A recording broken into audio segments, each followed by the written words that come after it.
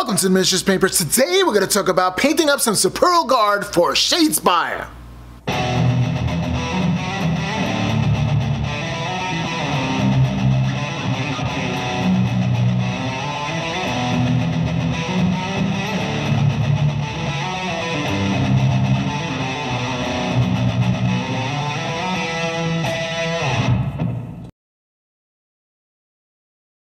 Hello. All right. So it's time to dive into the Sepulchral Guard for Shadespire. That's right.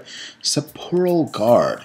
Now, I really like this box, especially this box, because I have a Legion, Legion of Nagash army, and this, I'm told, has some data sheets for it so this way some in the battle tomes so this way I can actually use it and field it with my army. So there's like a dual purpose. I can use it for the game of Shadespire and I can use it for Age of Sigmar. So let's see what's in the box. So you have these two very tasty sprues, very delicious there, with a lot of detail. And those textured bases, which are amazing when it comes to detail. I add my own little thing to it, so this way it can match my army, but the fact that it comes with uh, very, very detailed bases are amazing. You also get the cards. You get ploy cards and objective cards, all kinds of cards come in this so you can use it. Now, there are some cards you can use with any warband, and then there's cards that are specific to this faction. Let's see how to build it now. Here is the little instruction booklet. Now these are created to be press fit. So that means you just could snap it together, put it together, put it on the table and start playing. So if you have no interest in painting whatsoever, which I don't I don't understand that. I'm the miniatures paintbrush. Anyway, um, you can start playing right away, but at the same time, uh, if you do want to uh, paint them, you can. Now, this can be a little tricky, but this is Games Workshop after all, so they take painting these miniatures into consideration while when putting it together with the pieces. They start thinking of, okay, so if somebody's going to paint this, would this be hard to paint? Would this be incredibly hard to paint? Like, is would it be frustrating to the point where people not going to want to paint it? And well, GW wants people to paint their models. I mean, they do have a paint range and paintbrushes and a whole bunch of hobby stuff that they do sell as well and i'm sure they don't want sales to drop so yeah they do encourage you to paint this stuff and it looks so much better on the table so I'm going to start here with uh, some Stynylrez primer and I'm painting everything black. That's right, I'm just starting with a base of black and I could have started it any other way but since I started my army with black um, with the other skeletons in which I painted, I want to keep that consistency. Plus, it all well worked out well anyway. Just like this guy right here, this Hex Wraith that I painted about a year ago. Um, I want to make that same kind of gradient with the purple and I want to, you know, integrate it with the green if possible. So I'm going to use the same formulas in which I did back then in order to create the same kind of consistency so it fits in, fits in the army well. And we may be asking yourself, well, why purple, green? Well, First, purple is my favorite color. It's my birthstone color. It's something I wanted to do, and this is the first army, uh, Age of Sigmar army that I have ever made.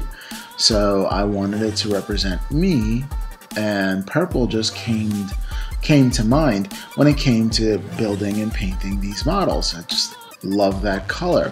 But I also wanted to be a little bit sinister, so why not fade it into the black?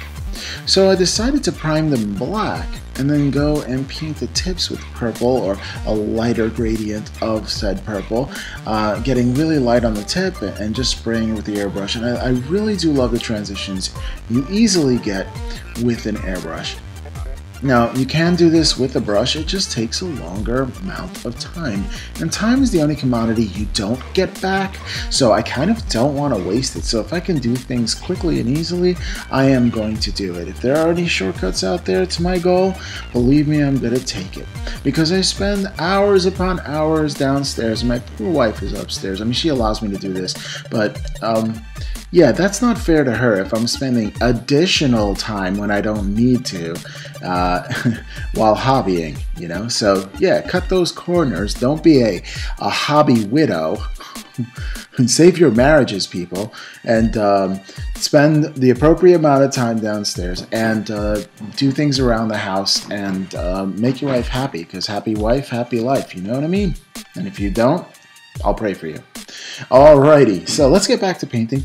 Again, I'm going to do, I'm going to show you the process. This is more of a paint and chat video. So you can see which paints I'm using right there, bone white, my, one of my favorite colors to use, one of my most often used colors to be honest.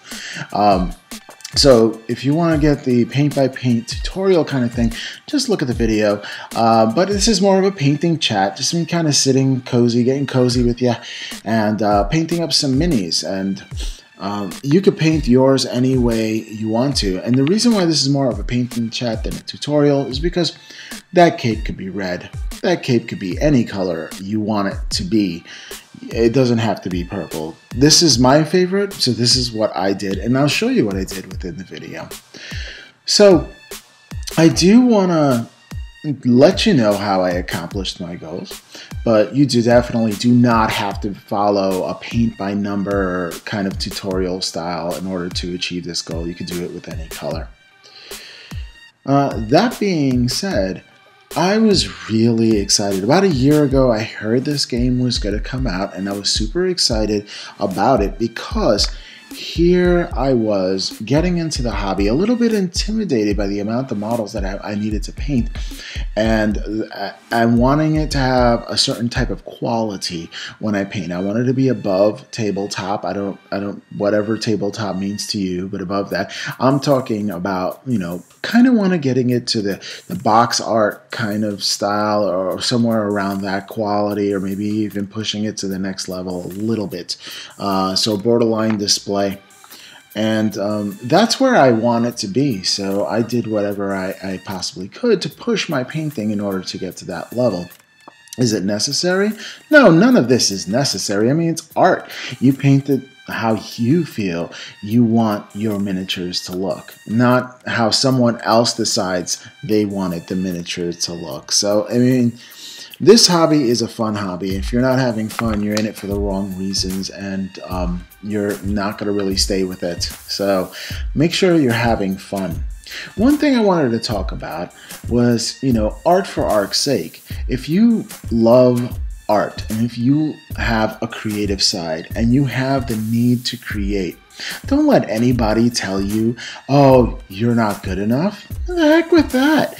You know, you're having some fun. This is your thing. I mean, there's some there is definitely some uh, amount of zen when it comes to painting because you kind of get in a zone and you're kind of focused on a thing and, and on all the all the worries and stress of your day your work day kind of melts away. Now some people use healthy and unhealthy ways in order to kind of escape reality and go into their own little world. And you know um, this i find peaceful and you just mentally it just brings me to a place where i'm calm and peaceful and you know those health and mental health benefits are definitely tremendous in this hobby so quickly I want to go back to what I am doing on the screen. Right now I have some Kneadatite or well a lot of people call it green stuff. Now this was originally a plumber's tool to kind of like patch up you know pipes so this way they're not leaking. So it's waterproof you mold it it dries it, it sets hard uh, as well I, I, would say maybe a stone I don't know sure exactly but you know you can sand this stuff. And the one thing that I encounter uh, tremendously with these press fit models these easy to build models are gaps. I do find gaps and you have to fill in the gaps now I use green stuff in order to do so and I'm playing around with a little, lot of different textures when it comes to green stuff because I have some milliput in which I mix in with that sometimes to make, you know, get the properties of the milliput which are soft and grainy and then get the, the stickiness of the Kneadatite green stuff. So this way it's malleable and workable without having to dip my tool into water every second because green stuff, I don't know, it likes to soak up the water. I, I, that's what I think because every time I put water onto it, it works for just uh, there's a small window of time in which that works that you can actually knead it without having the tool getting stuck to uh, the green stuff uh, type and pulling it back up where you don't want it. So this is the first time kind of you know sculpting on the model even after it's painted a bit. And I'm not too worried about that because there's primer on it. So once that dries, and I do allow it you know, 24 hours to dry, I'm gonna paint over that with more black primer and then start the process of painting on top of that. But I did notice those gaps and I, I, just could not leave it that way. I couldn't do it. Some things about these easy to build models, these press fit models, if you want a certain quality and you don't want big honking gaps in your model, well, uh, maybe I don't think it's that easy to build. It reminds me of Zinj. If you've ever built some Zinj, you know about gaps. Uh, it's just, Zangors, it's all I need to say. For those of you who play Zinj, you know what I'm talking about all right but this is sort of like that and it's a little bit frustrating because i kind of want like if I build a model, I kind of want the fit and finish of the model to be of high quality standards where you don't have gaps. All right, something to help me with this Kneadatite in order to fill in these gaps uh, is a sculpting Vaseline, which I got from Green Stuff World. Now, if you're in the US, Green Stuff World doesn't really have a United States uh, website where you can order. You can actually order in the U, uh, no, in Spain. I believe it's located in Spain, and then have them ship it over. But shipping and handling, ugh, yeah, I, am completely avoiding that. But the thing that they do have is uh, eBay store. Now you may want to check that out. Check them up on eBay, and I cannot. I don't think I can put the link down down below, but I'll try if I can um, with eBay. But it's it's pretty amazing uh, that uh, you can get that stuff on eBay and it's an eBay store. I don't, I don't believe they're doing auctions, you know, as per se. It's not really an auction in which you buy it, but they put it's just a store where you can just purchase stuff there. And I find that you know the shipping and handling cost, and I don't know how they do this, is a lot cheaper. So I I don't know what kind of miracle or magic they're working over there on eBay, but um, it just seems a lot better. Now, last time I ordered from them, it did take an extremely long time for the items to arrive. I think about two months. And so, I mean, be aware of that. I don't know if that's just my experience. Some people say they didn't have that experience, um, but that was my experience. So be aware that some of the items may take longer than you know priority. Now, and that is if you want to save on, save on shipping, which is the point of going to the eBay store saving on shipping, you know? Uh, so if you're willing to wait for what you want and you're, you're patient enough to wait for what you want, you, there's savings to be had there if you ever need um, some sculpting Vaseline. They have rolling pins, which are amazing uh, for texture. And you know, uh, they have these leaf punches, which also they have some scatter leaves, which I picked up, uh, which are birch seeds. Yeah, birch seeds. If you take birch seeds and dry them, they, they look like small little leaves, by the way. I'm gonna have to do a tutorial on that, which is really really cool because you just take some seeds out, you put them in a little plastic bag, you leave them in the sun for a little while, they dry out, done. You have yourself little mini leaves. It looks pretty cool. But those hole punches, not to discount, you know, take away anything from those hole punches that, that Green Stuff Worlds put out, they're amazing because they're actually di- like cut sort of like cookie cutters for really small leaves and they get pretty precise so uh, if you have a, some people do it with an actual leaf where they cut it out and it actually looks like a maple like you get that consistency now the only problem is having consistency, in my opinion. If you have a leaf, none of them should really look exactly alike because, you know, it's not really natural. I mean, you get similarities, but not exactly alike. So that's what I think when it comes to leaves. That's why I stick to the birch seed, uh, dried birch seed, which I actually purchased. All right, let's take a look at the base. So some Stynylrez. I'm going to some gray over here. And I'm just graying up the base. Just trying to... I looked at the base of the, my army and just trying to replicate the theme within that. Now, I say theme loosely only because I'm using the same colors, uh, but you know, I can actually have quite a few items that are different in there, but some of the things that tie it together. And that's just it when it comes to bases. When you're creating bases, you don't want everything to be so uniform because if you look out in nature, uh, you're to see a lot of different patterns. If you're walking in the forest, no two parts of the forest are looking exactly the same. They all look different, but they still have the scatter they still have the same type of leaves. They still have the same type of elements, but they're all different. And that's what you want to include on your bases. You have a general theme, but at the same time, there are elements in which ties all of them together. Um, all right, time for some white here. And uh, just creating streaks and giving some highlights onto those bones, uh, extreme highlights that are on these highly detailed bases. Man, I know I've said it before, but I really love these highly detailed bases. I think they're amazing that it comes with the kit. That I like. The way the fit and finish of the press fit models, it's lackluster in my opinion. It still needs a little more work. But it serves its purpose. It's sort of like the snap type models I used to build when I was a kid. Um, although, you know, my family members and my co-modelers uh, who were scale modelers as well, they shunned the fact of snap tight, saying that it was too easy. So I didn't build too many snap type models because that was that was baby stuff. They told me. So I know now, uh, in retrospect, was it easy? Yeah. Um, was it bad for a beginner? No, it was perfect for a beginner. So I don't know why I was told to do something different. It was actually, you know, something I should have done. But I learned a lot by doing the harder level models. Um, and I, I learned that stuff then, and I'm applying to stuff that I learned then now. And for me, that's pretty amazing because it's not wasted knowledge. You didn't waste your time as a kid learning how to do this stuff, all to never do it again.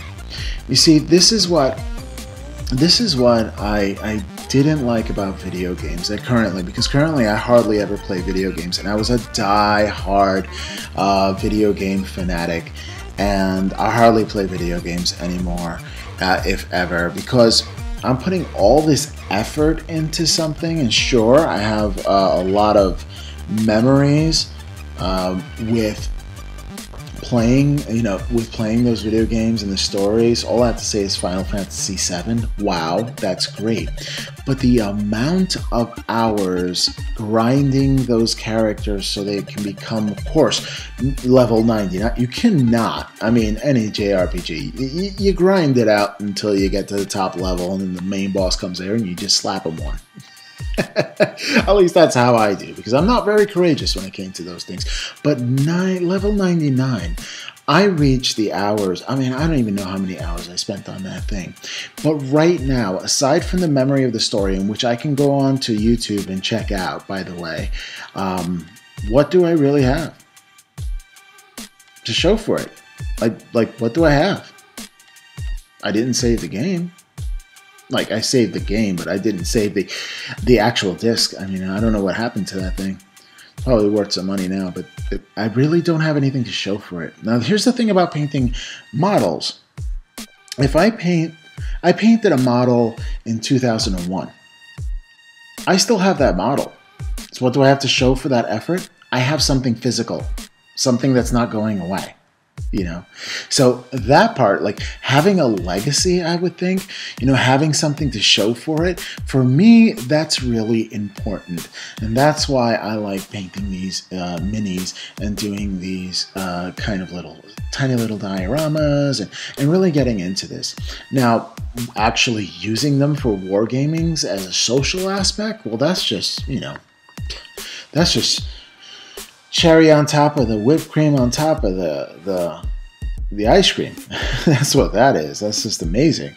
You know, um, and which I have. I've been using my painted minis and going into my local gaming store and meeting some really cool people. Uh, definitely cool people, which um, I hope one day to bring to the miniatures paintbrush where we can do battle reports, poss- possibly build reports or something, uh, you know, something with conversion. So, you know, that's something down the road, you know, and uh, the miniatures paintbrush will be expanding which is my my goal you know for it to to just get larger and become like a community thing really you know have a small little community of people like-minded people who um who just you know love those around us. Love thy neighbors. I don't know. I know where i'm going with that. But uh, having like-minded people with the same kind of values uh, really um, enjoying each other's time and enjoying something that's you know productive instead of something that just absorbs time and then you have nothing to show for it. Um, plus, there's a lot of laughs. Now, this year I'm hoping to go to the Nova Open and uh, I'm going to take some art classes there and just really um, learn some concepts and you know integrate it into my tutorials. One of the concepts here is called dry brushing, and which is what I'm doing to, to pick out the highlights of the bone areas. Now, when I dry brush, it's not just regular dry brush. I mean, I make sure there is just about no paint left on that brush before I pass it in there. So it's only picking out the highlights, and I can get really precise with it. All right, some bootstrap leather. Um, just getting the leather bits there. Um, sorry about the focus of the camera. It goes in and out just a bit. I forgot not to manual focus. Like I left it on autofocus and it just it just went crazy on me. so, you know, I as much as I try to figure out every angle and make sure that everything is in place, there's always something that you kind of forget. It's the human element, you know, it's just mistakes will happen. So sorry about if the, the camera goes out of focus, but you can see me bringing up each detail, just, just base layering the leather straps and the leather bits within there. Now, the one thing about the sepulchral guard that I really like, and, and skeletons in general, there's a lot of detail, yet there's not a lot of detail. What I mean by that is that you don't have to pick out every muscle because there's no muscle to pick out. You know, there's just bones. So you can dry brush a little bit to get the bone white, you know, reinforce the shadows, and yeah, you can play around with that. Once you're done with that, you know, even if you wanted to go for ultra smooth transitions and spend time on each bone, it's nothing like having you know a whole bunch of flowing ornaments and stuff. I'm thinking, you know, like high elves from uh, Warhammer Fantasy, which they have all these flowing robes upon robes and, and more ornaments and, and more. There's just so much accoutrement with them that um, that you can get lost in it. Speaking of which, the Idoneth Deepkin Oh my goodness, the detail on that is absolutely amazing. It's it's gorgeous line, gorgeous, gorgeous line.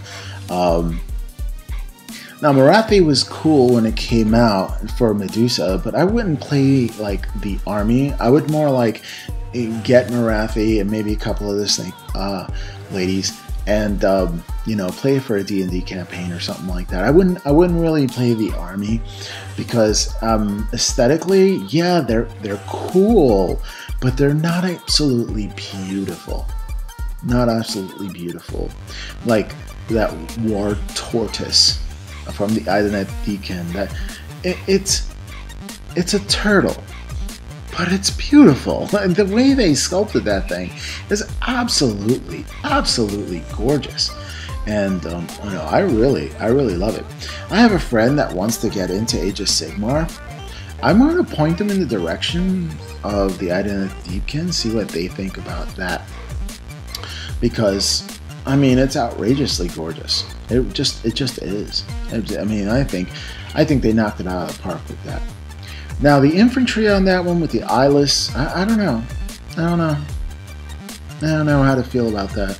It's just like it looks like it's lacking detail in my opinion. Like there should be something more than just nothing in the eye sockets. It just my opinion there. It seems like they could have done more, like they created a shortcut. And yeah, some people do not like to paint eyes. And if you hate, hate, hate painting eyes, that is definitely the army for you. All right, time to to bust out the silly putty and wrap everything off and just go for the shield. And um, I usually do the seal, shield in subassembly, so I don't have to silly putty everything, but I really didn't have the option. I mean, this is um, easy to build, kind of snap fit models. So, I mean, the shield was just molded onto the hand. They didn't come separately. So, and when it does that, you have to take extra precautions like using uh, some kind of masking material. And this one, I'm using Silly Putty. That's right, Silly Putty. So if you haven't used Silly Putty to mask off your uh, miniatures, you need to because it just molds and conforms to just about any surface uh, for a mini. It doesn't tear the paint off your mini, so it is amazing. You can be cautious and varnish your minis so it won't. You make sure that it doesn't tear up the paint. But I'm telling you right now, these models right here were not varnished before I put the silly putty on. And I just take the silly putty off and it's just fine. So what I'm going to do with the shields here, again, going with a theme of going from purple and then going to that light violet, uh, that blue kind of violet color and that is the theme for my army right there now the reason for the green green flames and ghostly green stuff is because you know that's the complementary color that the complementary color of purple is green if you look at the color wheel, they're right across from each other, you know, directly across from each other on the opposite end of the wheel, which means whatever color you put in there, it's going to pop and it's going to really, really show uh, through. All right, some copper with some pale burnt metal. I like to mix my my true metallic metals because I want to create my own color. And I usually put this in a wet palette, but I didn't do it this time because metallic paints, I don't know, it's just metallic paints. So I just kind of mixed it right there on my table, which uh, I, I, do have to change that table. Uh, I definitely have to change that, that the the newspaper on that table, and I will, you know. So that's going to be a thing. because that that table's filthy. Sorry about that, folks. I didn't mean for you to look at a filthy table, but you know, when you're a miniature painter, you, kind of dirty your, your, little place up a little bit. You know, this hobby creep is a thing. Okay, um, I'm trying to be conscious with that and doing a conscious effort. And some people like, why? Why would you even bother having a conscious effort about hobby creep? It's just a thing. It's your area. Dirty it up. Who cares? Well, my friends have a little thing called OCD, so I have to make sure I don't lose things and keep things organized. Or if not, you know, I'm a hot mess. But so oddly, there are times where my desk just the hobby creep is a thing, and I have no more room to work in because I just have bottles and bottles of paint and clippers and everything in you can imagine thrown out in front of me. So this is what I do, guys uh, and girls, is when I finish for the night before putting everything away, before putting, you know, going upstairs and, and just you know going and hitting it for the night. I spend an extra half hour putting away everything. Everything must go away into its appropriate place. So this way next time i'm going to build next time i'm going to paint i know exactly where everything is and it actually saves me time in the long run. Plus you have a workflow which is efficient. And you know when you're efficient it feels so so good. Because if you're looking for a color and looking for a color and looking for the clippers and looking for toothpicks and looking for this and looking for that and looking for everything in between then you're going to waste a lot of time. So that that bit of an extra effort at the end of every session is well well worth it. So i recommend that if you do want uh, to not lose your things to keep an organized desk. And I wouldn't say punish yourself if you if you don't, but at the same time, the benefits are there if you do. So it's totally worth it. Take some extra time before you end every single every single session. First thing I do is check to see if I left the uh, the airbrush on I have to shut off the compressor uh, because there have been times where I've left that thing on all night and water builds up in that sucker and it's gonna rust out the tank. You know, it's, it's just no good. It's just gonna ruin the life of your uh, your compressor. So and and water builds up and it's just not good to have things under high pressure. Now I learned that with the water hose, you don't leave the water hose on because it'll burst. You know, it'll just burst. You don't want that. You don't want that for your airbrush. You know, it's not water, but it's air and it's still pressurized. So, yeah, no, that's just a bad thing. So, before I go and go upstairs, I will hit the, um, I will hit the button on the top, the lever on the top for my airbrush, just to make sure it's off. And then I will put all the paints in the area. I leave them on my desk if I'm going to use them again. So I don't put them back in their racks or anything like that. I leave them out, but I leave them in front of me in a row so I can see every color so I can just pull on it easily. Then uh, what I do is I clear off any junk that needs to get off that table and I'll put away the tools where they're supposed to be at the arm's reach. Everything is arm's reach. Everything has a place, everything in its place.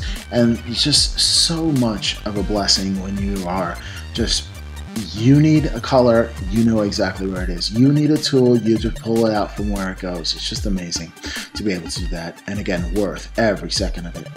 All right, so these are actually coming along, working with true metallic metals, shading it down, playing with all kinds of shades, of Seraphim Sepia. And again, I am working with true metallic metals. Um, I'm working with true metallic metals and I'm starting to get away from the inks and starting to play around, but using inks instead of shades uh, for the metallic metals. But you know, I'm just learning, I'm playing around. And part of this hobby is playing around and not caring if it doesn't look great. I mean, honestly, if it doesn't look great, that's fine. I know exactly what I need to work on. It's not like I don't have another mini to paint, you know, and I can I can try it again and try it again and try it again.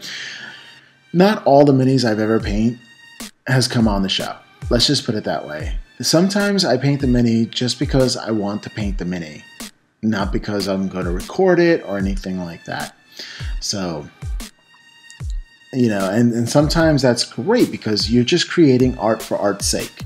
You're not creating it for you know to be judged or or you know to post and have people criticize and you have to be careful. I mean i i think the community of miniature painters and builders and wargamers are amazing but trolls are out there and you know and bullying is a thing unfortunately. You know, there are people who just want to see other people suffer because they're hurting inside. Because when you're hurt inside, you start trying to hurt other people. And it's sad. Like, I feel bad for those people that they have nothing better to do than to try to ruin someone's day. That is really sad, you know?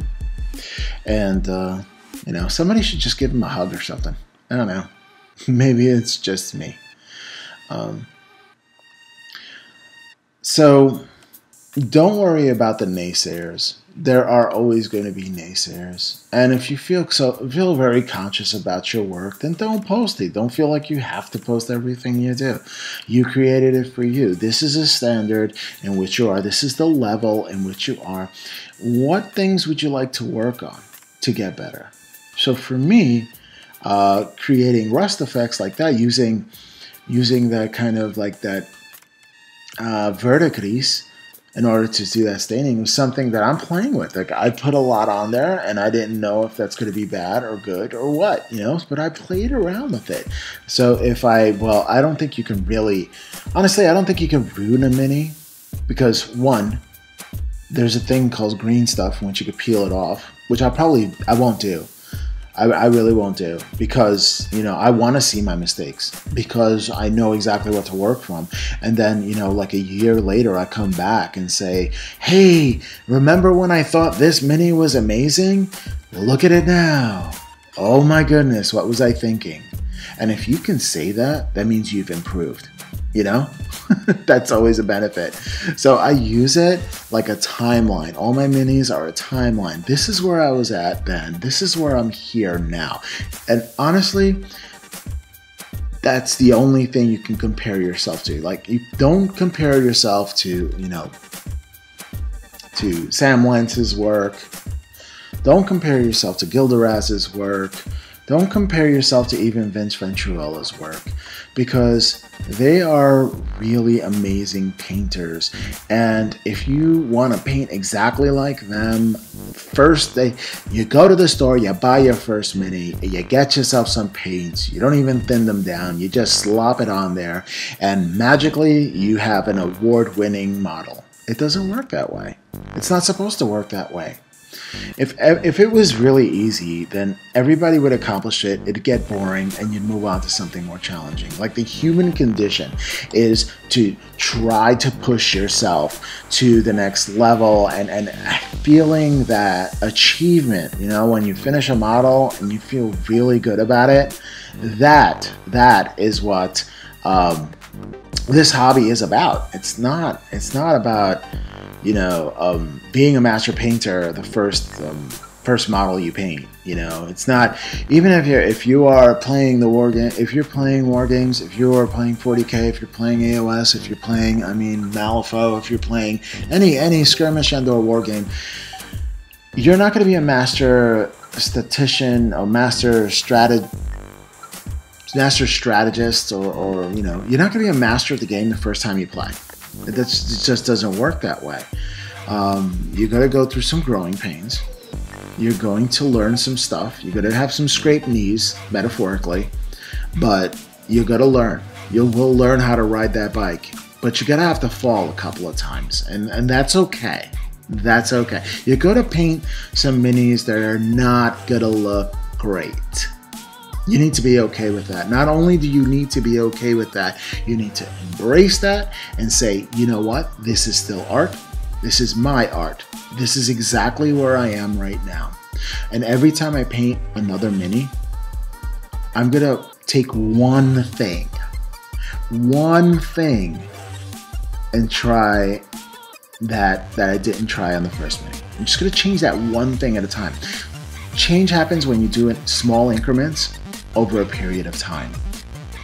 Small and lasting change, anyway, occurs when you make small changes over a long period of time.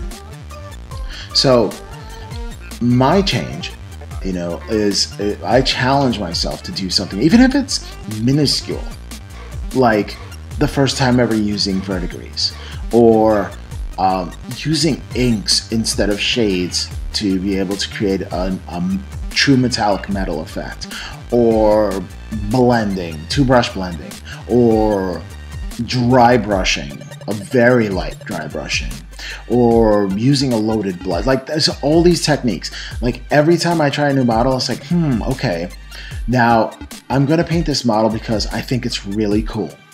Number one, I only paint things that I think are really cool. If I start painting something that I don't like, I, I tend to rush through it. I don't care. Get it done. Get it off my table because I don't even want to paint it anymore. So get it out of my face. you know, I am so I'm merciless when it comes to that because, you know, I'm taking time away uh, from some other people. Like I'm taking time that I could be doing. Like I could be I could be watching a movie with my wife and just like laughing at something or, or just going for a walk or something like that. I'm taking that precious time that I'm not going to get back and I'm doing this. It better be worth it. It better be worth it because it's it's not worth the sacrifice. It's not worth it. You're not going to take time out of your life to do something you're not enjoying. Yeah, it makes no to me that makes no sense. You know, not to say that I don't spend time with my wife. Um, I could always spend more, but you know, I you know I like I love it. I love spending time with my wife. I love spending time with my family. I love spending time with my my stepson. I love spending time with uh, you know I am blessed. I am blessed. I, I really am. Um, I, I a little bit about myself. When I was younger, I, I just felt like I had just about no support system and no one, and I was kind of alone. And now I'm surrounded by a whole slew of people that really love me for who I am, and I couldn't be happier. So you know, I take I take one day a week and, and I and I have like the, the war gaming day or the you know I teach a painting class in my local um, hobby shop and I do that, you know, every other week. And every other week I play a war game because I want to be good at it and do battle reports for you guys and stuff like that. And, you know, uh, at night, you know, if I had a really stressful day, sometimes I go down there and I'll paint for three, four hours or whatever. Um, but some nights, you know, I'll just do one hour and all I'm doing is like, you know, green stuff with stuff, you know, or just working on leather and just putting a base coat down. Like, even if I get down there and just like gets the stress right out Okay, now what I'm going to do is I'm going to bring down the sheen of this wood now uh, on the screen. And I do want to point this out.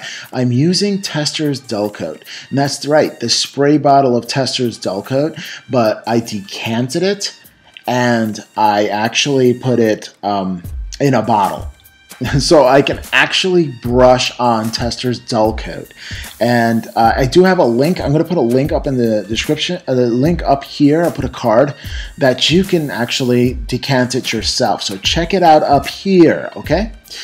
Alrighty. So yeah, I just, anyway, uh, I should say paint and rant instead of paint and chat. Um, you know what? I'm going to open this up to you guys. You know, I like doing the paint and chats and stuff like that, but I want you to ask questions. You know, if you can ask some questions, leave a comment down below and ask some questions. I'll, you know, I'll be, I'll touch on a lot of different topics and you know and as long as this has something to do with a hobby something you know hobby related or you know game related or something like that yeah man I'll, or a woman i will talk about it yeah, so feel free to interact. Absolutely. If you listen to this on your car ride to work, then you know, kudos for you, man.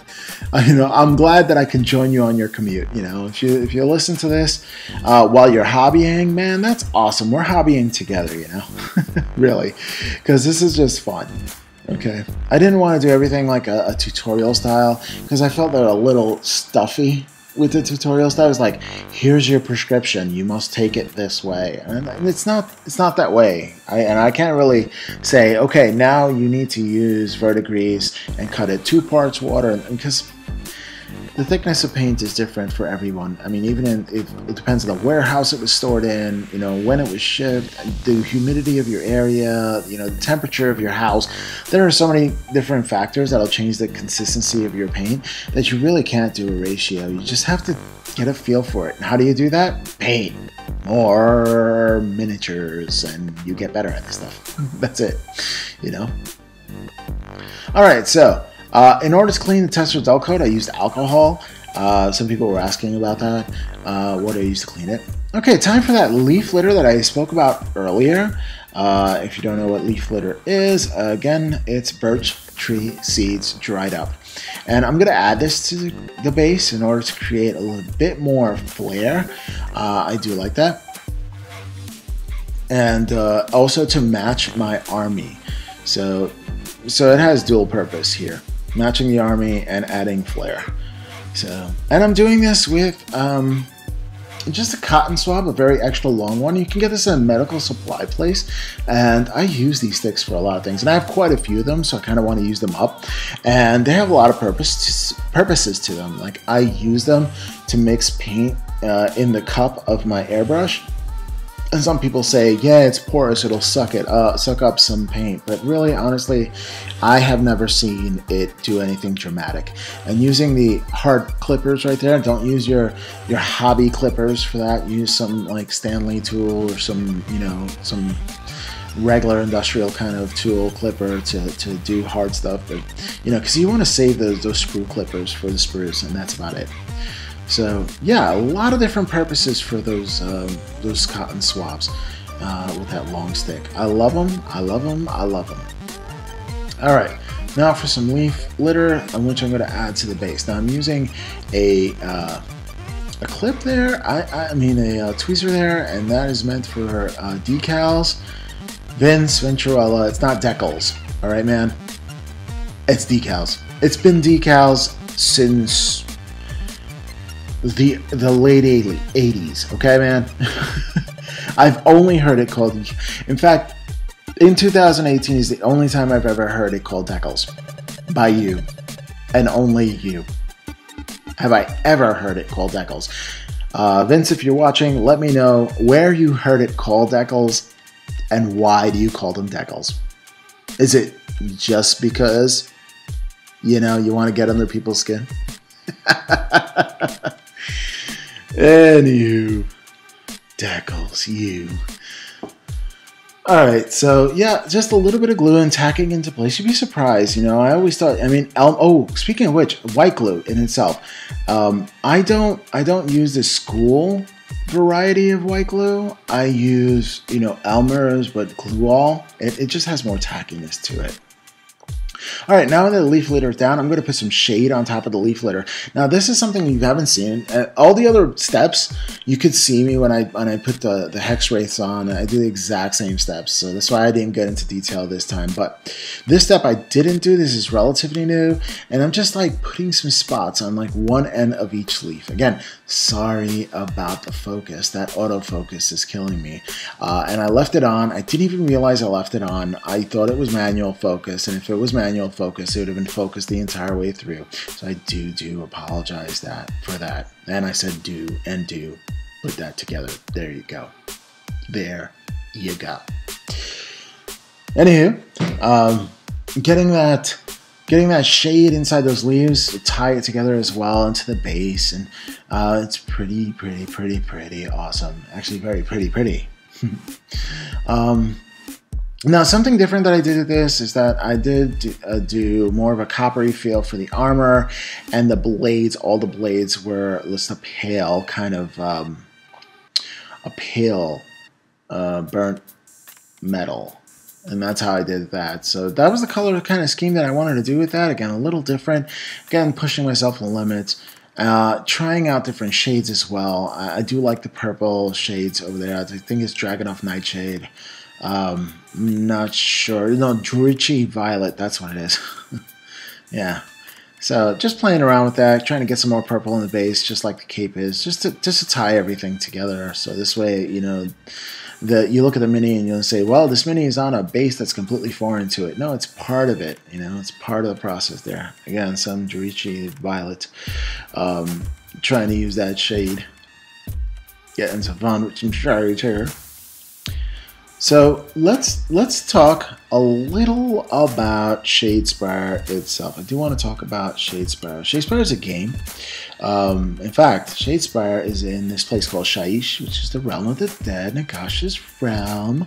Um, you know, it was Shadespire in itself was a city. Um, uh, it had magic, and it's a mercantile metropolis rising from you know unforgiving earth in the realm of death aka Shyish, and countless of races dwelt within those walls, and together they created artifacts of astonishing beauty and power.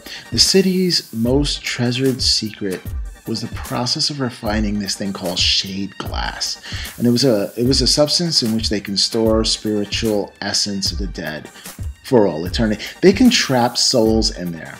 Now you may think, "Oh my goodness, why in the world would anyone want to do that?" Right? I mean, I wouldn't want to be in an eternity in a, piece of glass. That is just, that's crazy talk, right? Well, here's the thing they were cheating death. And imagine if you could speak to people that were alive millions of years. Like, if imagine if you speak to President Lincoln and, and get his advice on things like today. That would pretty pretty much be amazing. So you know, they defied death Nagash came in and said, um, those are my souls. I'm the Grim Reaper here. I'm the one who's supposed to take the souls. You can't keep them. So he not only punished them, but he trapped them in, in that Shadespire forever. And other people wandered into that area and with, you know, different purposes and stuff. Now, these Sepulchral guards actually want to fight their way back to Nagash's favor. So they want to, you know, they, they, they say, sorry, Nagash, we'll fight for you. We're my bad. You know, so that's what these guys are all about. Now, speaking of the green, I had to tie it in somewhere. So I gave it that Scorpion green in the eyes. So this way it can have that glowing eye effect in there. Uh, so I could tie it all in together. So, you know, all in all, awesome models. There are a lot of them, but awesome models, and I can't wait to play them on the table. They look amazing. Well, I hope you like this video, um, and like, share, and subscribe. Catch you in the outro.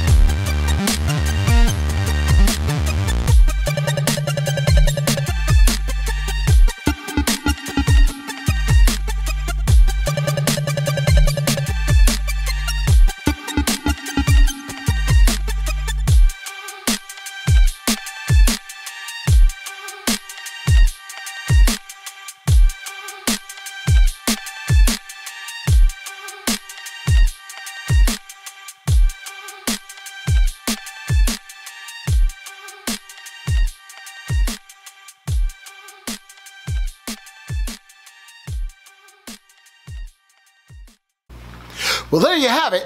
The Sepulchral Guard all painted up, and it'll fit really well in my Legion of Nagash army. Well, if you like this video, like, share, and subscribe, and I'll catch you next time on the Miniatures Paintbrush.